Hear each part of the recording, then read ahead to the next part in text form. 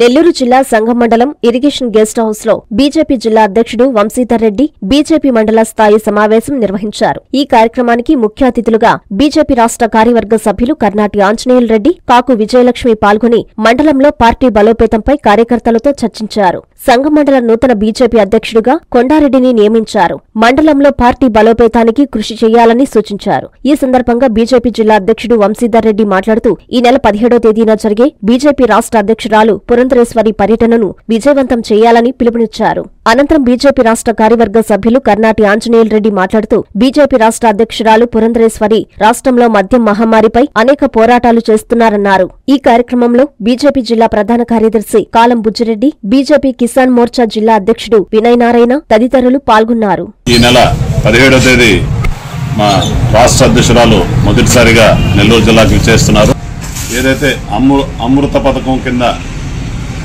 Railway station అభివృద్ధి కార్యక్రమం జరుగుతుందో అక్కడ ఆ కార్య ఆ అభివృద్ధి జరుగుతున్నటువంటి ఆ ప్రాంతాన్ని పరిశీలించి మా రాష్ట్ర అధ్యక్షురాలు దాని మీద పరిశీలన చేసి ఇట్లా పని ఏ విధంగా జరుగుతుందనే దాని మీద కార్యక్రమం పది పదిన్నర దాకా ఉంటుంది.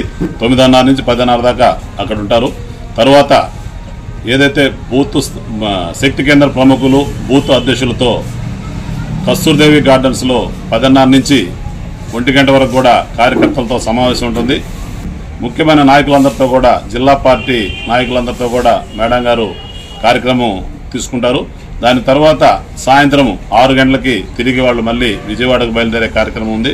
ఈ కార్యక్రమాన్ని మన సంఘం మండలంలో ఉన్నటువంటి అంటూ ఉన్నటువంటి వాళ్ళు మరియు నెల్లూరు జిల్లాకు సంబంధించినటువంటి అందరూ కూడా ఈ కార్యక్రమాన్ని జయప్రదం చేయవలసిందిగా తెలియజేస్తుంది రాష్ట్ర అధ్యక్షురాలైన మరుక్షణం నుంచి నిరంతరం ప్రజల మధ్యలో పార్టీ కార్యకర్తల మధ్యలో ఉంటూ రాష్ట్ర పార్టీ నాయకత్వానికి ఒక దిశ దిశ నిర్దేశిస్తూ ఒక స్ఫూర్తిదాయకంగా పనిచేస్తున్నారు.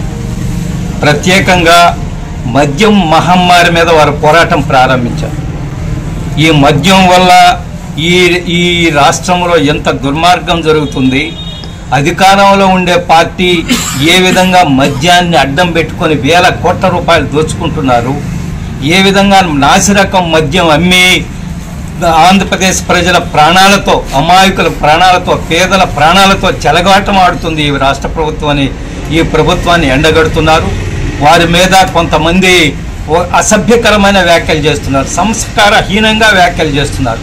వారు అడిగిన సమాధానాలకు వారు అడిగిన ప్రశ్నలకు సమాధానం చెప్పలేకపోతున్నారు. వారి నాసిరకం మద్యం తయారవుతుంది ప్రాణాలు కోల్పోతున్నారు అమాయక ప్రజలు. దానికి రాష్ట్ర ప్రభుత్వం ఏం సమాధానం చెప్తుందంటే దానికి సమాధానం లేదు.